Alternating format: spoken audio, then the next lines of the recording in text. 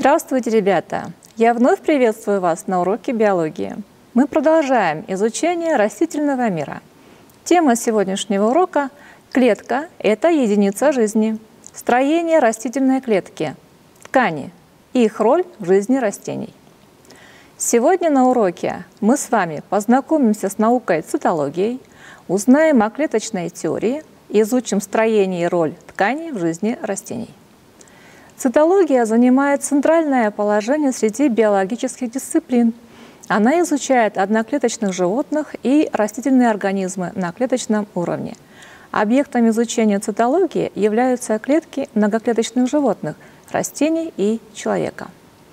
Во все времена люди пытались проникнуть в сокровенные тайны природы, познать то, что не видно на первый взгляд – но для ученых прошлого клеточное строение живых организмов было не таким очевидным, как для современных ученых. Не было главного прибора для изучения микроскопически малых объектов – микроскопа. Сегодня трудно представить деятельность ученого без микроскопа. Микроскоп широко применяется в большинстве научных лабораторий. Использование этого прибора позволяет делать научные открытия Именно благодаря микроскопу появилась цитология. Первоначально исследователи обнаружили в клетке лишь клеточную стенку вокруг полости. В последующие годы ученые постепенно выяснили важную роль других частей клетки. Уже в начале XIX века в представлениях о строении клетки сильно изменились – в ботанике утвердился взгляд на клетки как на структурные единицы. В 1831 году английский ботаник Роберт Браун обнаруживает в клетке ядро и считает эту структуру главной частью клетки. После этого открытия все клетки стали делить на прокариотические, то есть безъядерные, и эукариотические, имеющие ядро. Чешский ученый Ян Пуркине открыл вязкое, коллоидное и упорядоченное вещество, которое заполняет клетку. Это вещество он назвал протоплазмой, что в переводе с греческого обозначает первое образование. В дальнейшем появился термин цитоплазма. В конце XIX века – цитология стала развиваться быстрыми темпами. Важным событием стало описание постоянных частей клетки, которые называли органоидами. Клетка – это кирпичик жизни, это удивительный и загадочный мир, который существует в каждом организме, будь то растение или животное. Иногда организм представляет собой одну клетку – как, например, у бактерий, но чаще он состоит из миллионов клеток. Теодор Шван. Все живые существа на Земле, за исключением вирусов, состоят из клеток.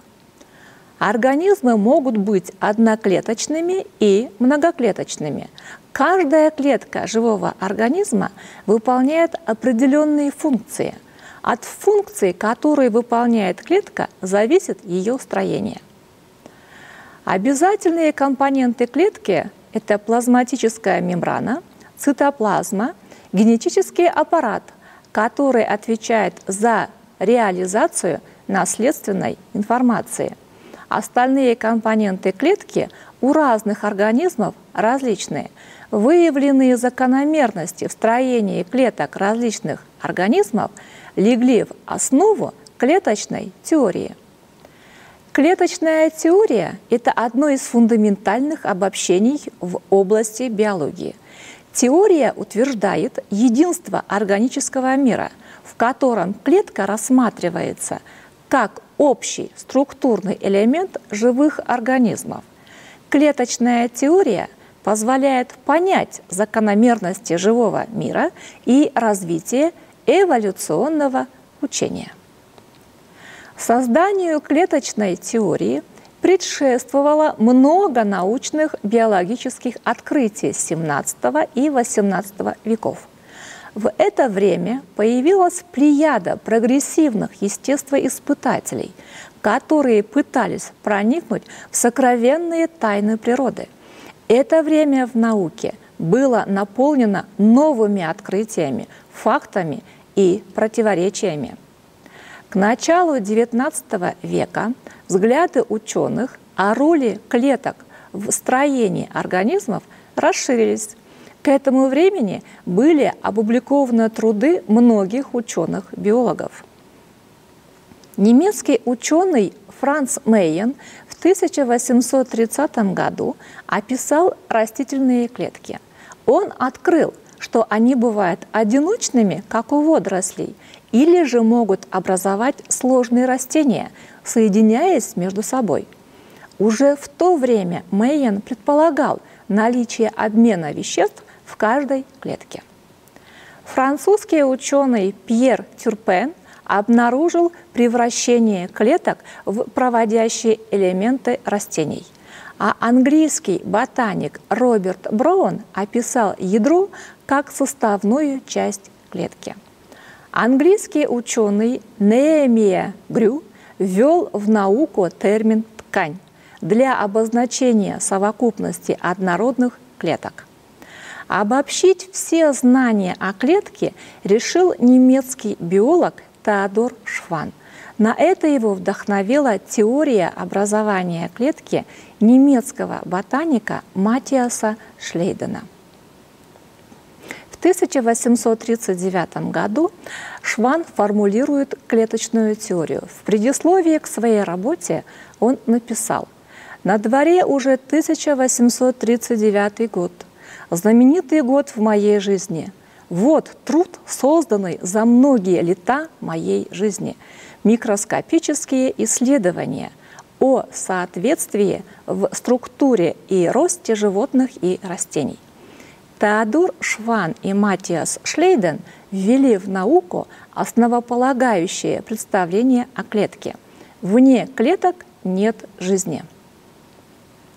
Этот труд, позже названный клеточной теорией, содержал три главных обобщения. Теория образования клеток, доказательства клеточного строения организма, распространение этих принципов на рост и развитие животных и растений. Создание клеточной теории явилось сильнейшим стимулом к изучению клетки как основы всего живого. Через два десятилетия после провозглашения Шлейденом и Шванном клеточной теории ученый Рудольф Вирхов дополняет ее следующим постулатом. Всякая клетка происходит из другой клетки. Там, где возникает клетка, ей должна предшествовать клетка, подобно тому, как животное происходит только от животного, растение только от растения. Поэтому очень важным дополнением к клеточной теории стало краткое выражение Рудольфа Верхова «каждая клетка из клетки». Питание, дыхание, образование и распад органических веществ – все процессы происходят в клетках одноклеточных и многоклеточных организмов. Каждая клетка способна поддерживать постоянство своего химического состава и осуществлять все процессы, от которых зависит ее жизнь. В многоклеточных организмах работа клеток представляет собой согласованную систему. Это позволяет рассматривать клетку как особую единицу живой материи, как элементарную живую систему. Живой мир нашей планеты необычайно разнообразен, но несмотря на такое разнообразие живой природы, согласно клеточной теории, все организмы имеют одинаковый химический состав и содержат большое количество химических элементов. В состав клеток входит 70 химических элементов из периодической системы Дмитрия Ивановича Менделеева – такой набор образовался не случайно. Живые организмы зародились в водах Мирового океана и поэтому состоят из тех элементов, которые образуют легкорастворимые соединения. Химические вещества живых организмов делят на два больших класса – неорганические и органические. К неорганическим веществам относятся вода и минеральные соли. Вода считается одним из самых важнейших компонентов клетки. Ее содержание в разных клетках отличается. Например, в клетках зуба человека воды 10%, в клетках головного мозга 85%, в организме медузы 95%, в сухих семенах растений воды содержится 12%. Вода – это соединение кислорода и водорода. Молекулы воды взаимодействуют с разными веществами. Вода является хорошим растворителем для органических и неорганических веществ. Таким образом, вода – это не просто неорганическое соединение, а необходимое для жизни вещество. Но вероятно, что человек владеет еще не всеми сведениями о воде. Антуан де Сент-Экзюпери писал – вода. У тебя нет ни вкуса, ни цвета, ни запаха. Тебя невозможно описать. Тобой наслаждаются, не ведая, что ты такое. Неорганические вещества в клетке – это минеральные соли в виде ионов или твердых нерастворимых солей. Роль минеральных веществ огромна. Они поддерживают постоянство внутренней среды, регулируют поступление воды в клетку. Нерастворимые минеральные соли являются составной частью костной ткани животных и человека, раковин, моллюсков. Соли могут накапливаться и в клетках растений. Соли кальция в клетках растений образуют кристаллы в виде игл или ромбов.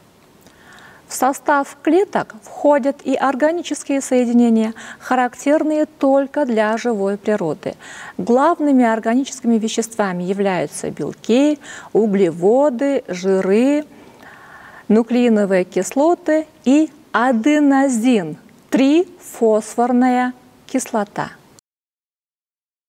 Основной частью любой живой клетки являются белки – Классическое определение Фридриха Энгельса гласит, жизнь есть способ существования белковых тел, и оно определяет значимость белков в живом организме. Живые организмы таким образом состоят из неорганических и органических веществ. В совокупности они обеспечивают жизнедеятельность организма.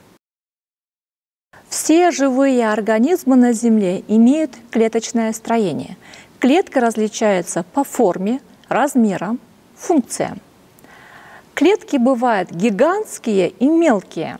Самые маленькие клетки у бактерий. Некоторые кокки имеют размер всего 0,2 микрометра.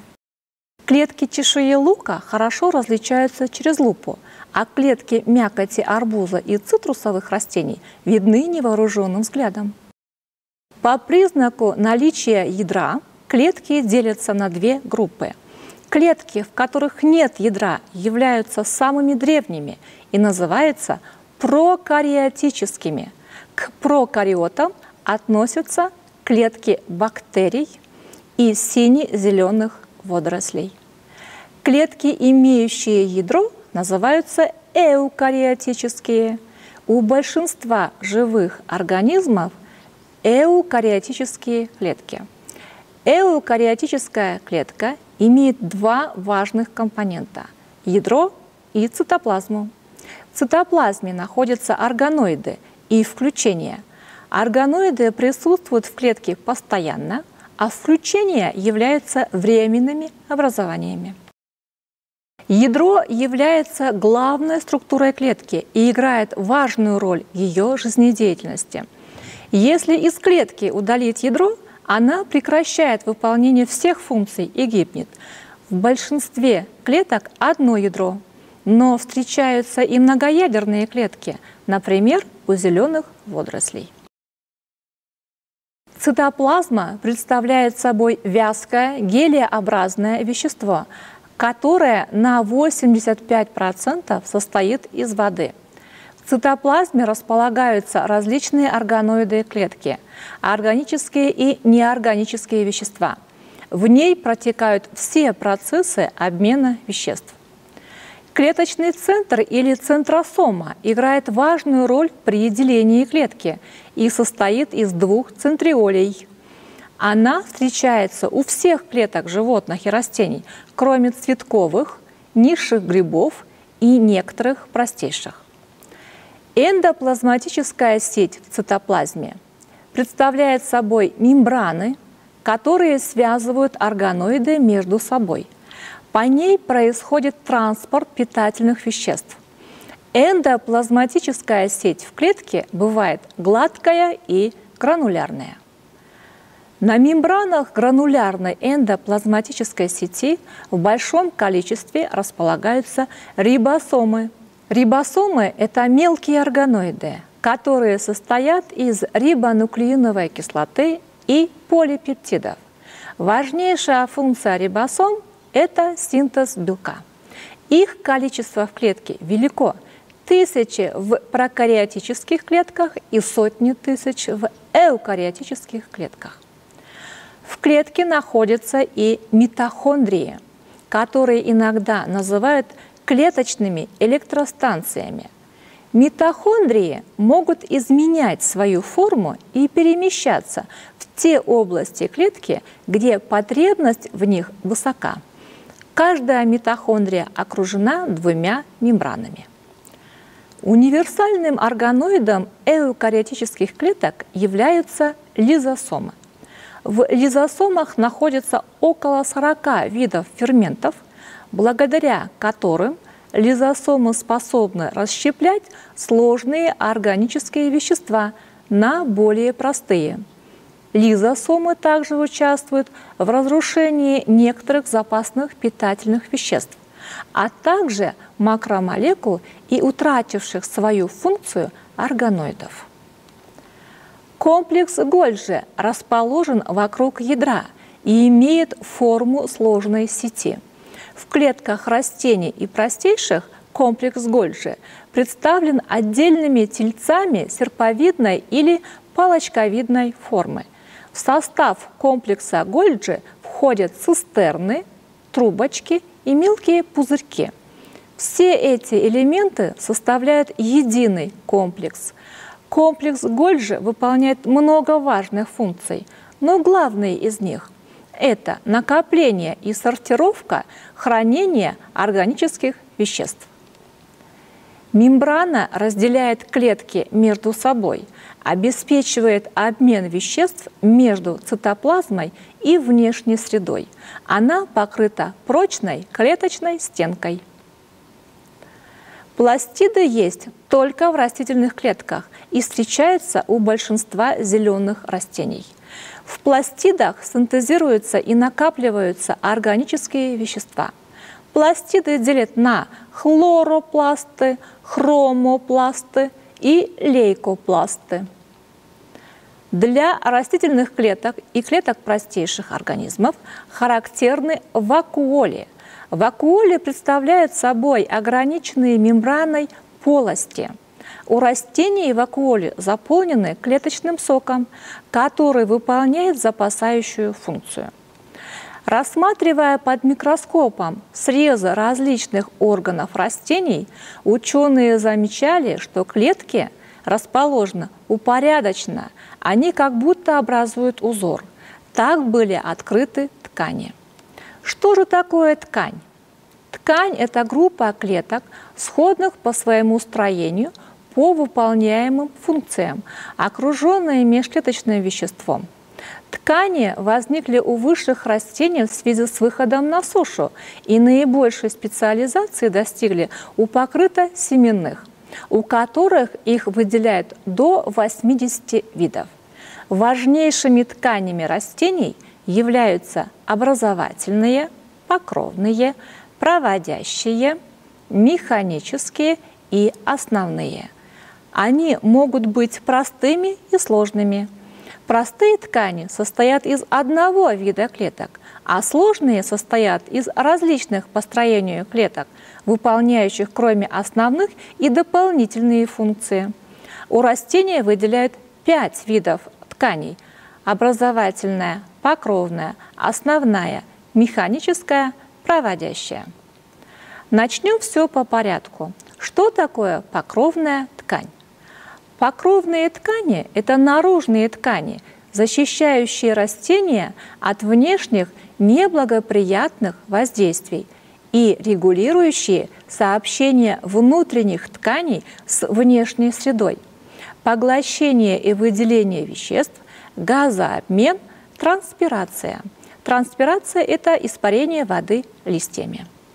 Механические ткани обеспечивают прочность растений – состоят из толстостенных клеток, часто с одревесневшими оболочками, что позволяет растению противостоять различным механическим нагрузкам.